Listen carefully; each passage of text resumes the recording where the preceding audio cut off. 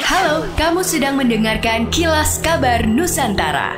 Podcast persembahan KG Radio Network menyajikan berita harian yang mengangkat keunikan dari berbagai wilayah Indonesia. Kilas Kabar Nusantara dapat juga didukung oleh pengiklan loh.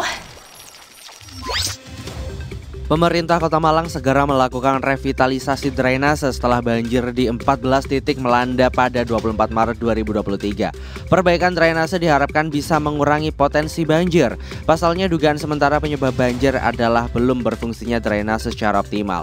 Dinas Pekerjaan Umum Penataan Ruang Perumahan dan Kawasan Pemukiman Kota Malang mencatat ada sebanyak 35 titik daerah aliran drainase. Dari jumlah tersebut baru dua titik drainase yang sudah dilakukan revitalisasi. Pusat Kegiatan Belajar Masyarakat atau PKBM yang dibina Dinas Pendidikan dan Kebudayaan Kota Manado terus memberikan pendidikan kesetaraan bagi masyarakat.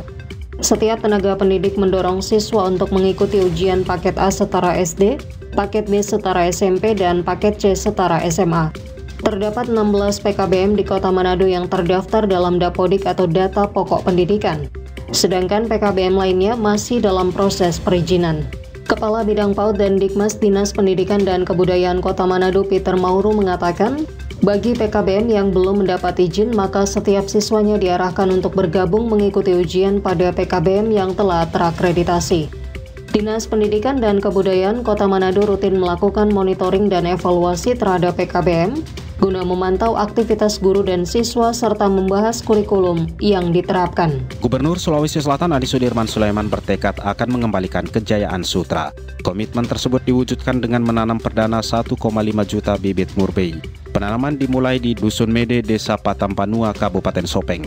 Andi Sudirman mengatakan bibit murbei yang ditanam merupakan bantuan pemerintah Provinsi Sulawesi Selatan atas inisiatif Kabupaten Sopeng. Penanaman ini adalah bagian dari target 3 juta bibit murbei yang akan ditanam tahun ini. Selain bibit murbei, industri sutra di Kabupaten Sopeng juga akan dibekali mesin pemintal terbaik. Menurut Sudirman, pengembangan sutra akan dilakukan secara terpadu dari hulu hingga ke hilir.